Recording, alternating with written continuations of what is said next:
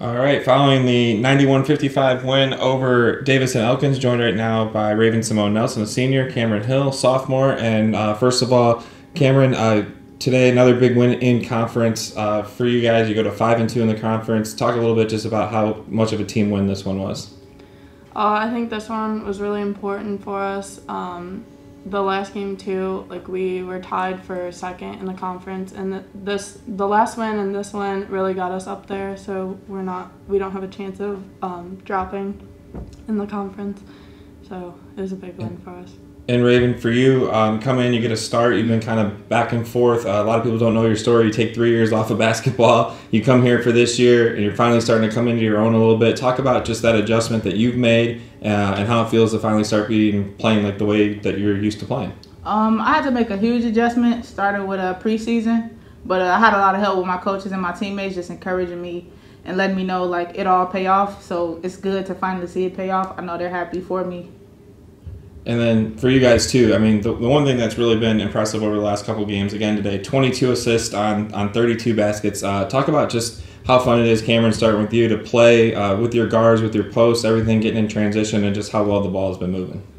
Um, it's definitely really fun just sharing the ball. Like we all um, have really good chemistry with each other, and we all want to see this person sitting next to us do really well. And we just know that we're better when we do share the ball, and it makes everything a lot more fun.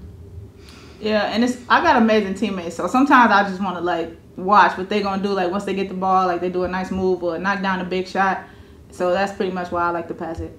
And one of the things too, you guys have just been pretty much dominant at home. Only uh, uh, two losses at home. Uh, how how is playing in this gym in front of a home crowd, having some of your fans uh, here at the game, been such a big difference for this year? It's a different atmosphere than last year, and um, I like having all the fans. Like it makes us seem like more like a community, and um, it's nice having people like cheer you on rather than just like our families coming to the games, which they did last year, and um, having like students come in and other fans. It's just really nice because it's not just our teammates cheering us on; it's other people too. Yeah, it just gives a positive energy. So like when we down on ourselves or like the fans or the parents know we're not doing what we're supposed to do on the court, they kind of like pick us up and we know that we could count on them to help us out and get us going too.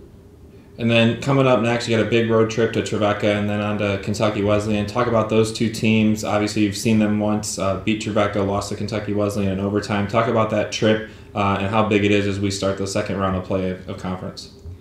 Um, it is really big. Um, we lost in overtime, like you said, to Kentucky Wesleyan, and I think that one is our main focus. Obviously, we can't surpass Trevecca, but I think we really um, want to get after it for Kentucky Wesleyan so that we can be on top, um, so that uh, we're in a good spot in conference. Um, yeah.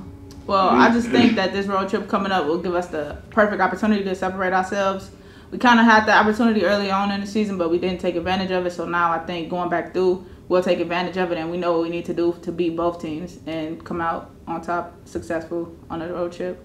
All right. Well, thanks a lot, girls. Good luck on the road trip. Thanks. thanks.